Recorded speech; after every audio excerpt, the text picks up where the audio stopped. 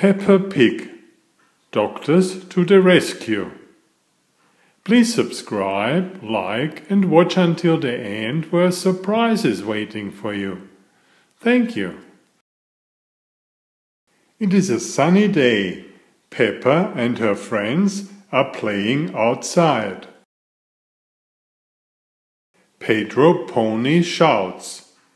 Tiddles the tortoise is stuck in a tree. I can get him down, says Pedro. I will give the tree a little shake. Pedro shakes the tree. Tiddles falls down and lands on Pedro's nose. Ow, says Pedro. That hurts. Madame Gazelle, Pedro is hurt, says Peppa. Do not worry, says Madame Gazelle. I will call Dr. Brown Bear. Dr. Brown Bear is a doctor who helps children when they are sick or hurt. Dr. Brown Bear answers his phone. I'm on my way, he says.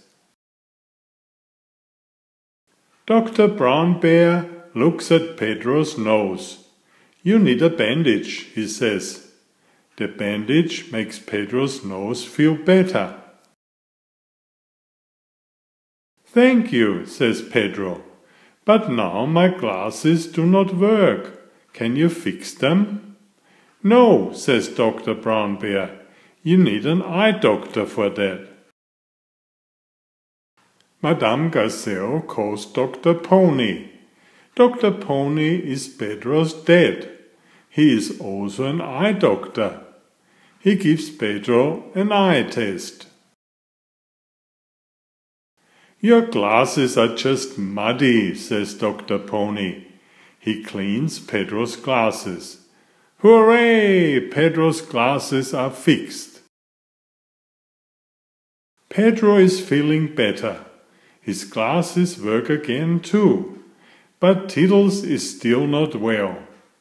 We will call the vet, says Madame Gazelle.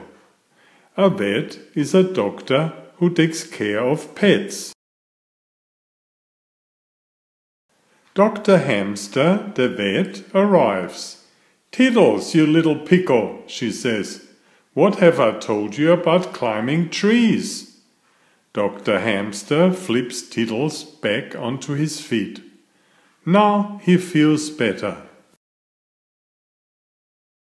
Just then, Dr. Elephant arrives. He is a dentist. A dentist is a doctor who looks after teeth. Are everyone's teeth okay? he asks. Yes, say the children. Then I will be on my way, says Dr. Elephant. But Dr. Elephant cannot leave. His car will not start. Who do we call when a car is sick? asks Peppa. I know who to call, says Madame Gazelle. Madame Gazelle calls Granddad Dog. He knows how to fix cars. Good as new, he says. Hooray! cheer the children. Granddad Dog is a doctor for cars, says Peppa.